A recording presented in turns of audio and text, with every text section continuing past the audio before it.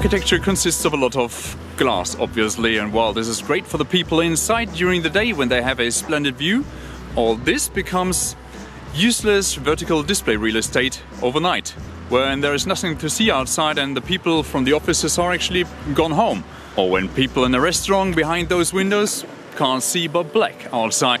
And unless you're covering those windows with some shades or some material to project on, you can't actually use it. Or can you?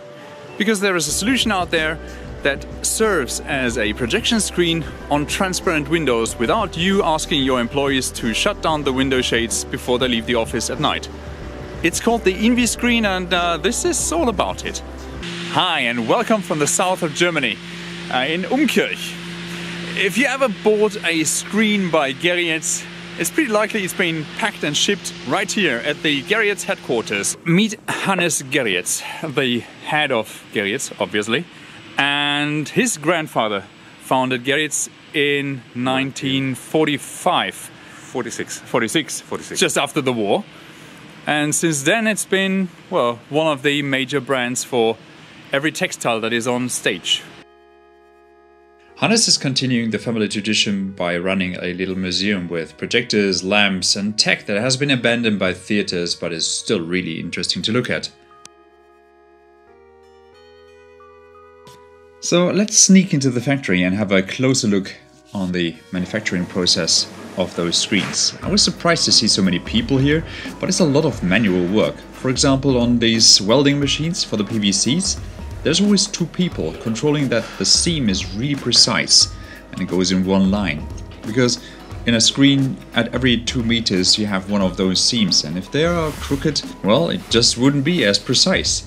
So obviously it needs people to manufacture good materials. It might seem that I'm being paid for this. Gerriets sent me those samples, but they didn't pay me for this review. If the material sucks, I'll tell you. So let's put on some gloves before we touch the samples that I brought from the headquarters. This is the Inviscreen applied to acrylic, just to make it easier to handle. There are four flavors, but uh, as you watch this video, maybe they shortened down the repertoire to only one. Right now, there is a front projection and a rear projection one, and there is high brightness and low brightness. The intensity of your image is influenced by the number of nanoparticles within the film that catch the light from your projection. Most films have a haze, as they call it, between 4 and 9%. So 4 to 9% of the material are particles that either reflect the light of your front projection or in case of a rear projection, glow up and represent the image.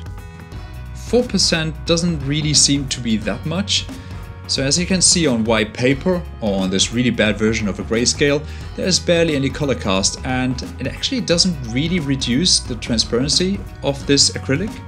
So let's have a look with a projection on it. As you can see in the direct counterlight, this already is pretty bright. To, well, not test, but kind of understand how it works, let's put this piece of acrylic that we attached the Inviscreen on in front of a projector that is just underneath a screen. And this screen mimics, well, let's say the view that we have from some rooftop restaurant that we are in. And the windows have been covered within the screen.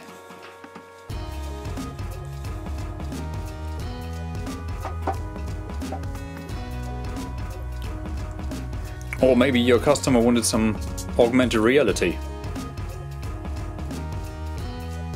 Course, there is the problem that maybe your viewing angle is not working with the whole marker thing, but you get the point.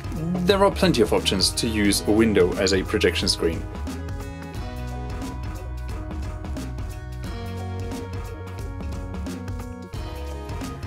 So while the neighbors are getting disturbingly loud while having a barbecue and getting drunk, and the birds screaming as if they wanted to eat themselves in the nest, This is the perfect opportunity to talk about the perks and the do's and don'ts of the Inviscreen. If your projector is pointing directly onto the Inviscreen, it will cause some uh, reflections, some heavy reflections, and at the same time, people from the other side or people from this side can't really see what's happening. So you will put it somewhere down at an angle. Uh, this will cause the light to bounce off like this. The particles inside the Inviscreen are kind of glossy, reflective. So the more haze you have in one of the flavors of the Inviscreen, the more reflective the material becomes inexplicably. And uh, if you put your projector at an angle, there is a sweet point between the viewing angle of the people, the reflection from the projector, and the angle. So this is uh, pretty tricky to find out. Um, let's see what happens if the sun sets and everything is getting dark. So the sun is setting and uh, we can see some structure on the Inviscreen. Curiously, light spill isn't so much of a problem. Can you see this? That's fun. So if you have some light here on top of it, it doesn't really affect the screen so much. So obviously, if you're in a restaurant and um, using the windows? That, that's a fascinating fact. Of course, only 5% of the material are haze, uh, which means 5% of this material are particles, nanoparticles that are kind of reflective and they uh, reflect the light towards you and they are illuminated a bit. Well, so obviously they didn't tell me too much about the secrets of this well, film. so maybe let's test some stuff.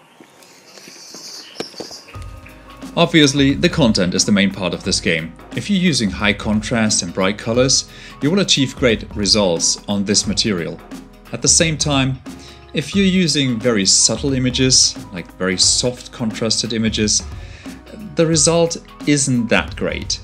Unfortunately for all you holographic projection guys, this is not suitable for the soft contrast and subtle lighting that you use to have a holographic projection.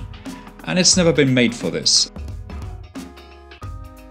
I'm sorry if this isn't the scientific exploration that you expected, but this is a look at the material from somebody who's just working with projections. In my eyes, this material has a lot of potential. I think you can do a lot of things with it, so let me know in the comments what your ideas of a usage are. And if you like tests like this, uh, well, subscribe to this channel and I'll be seeing you next time.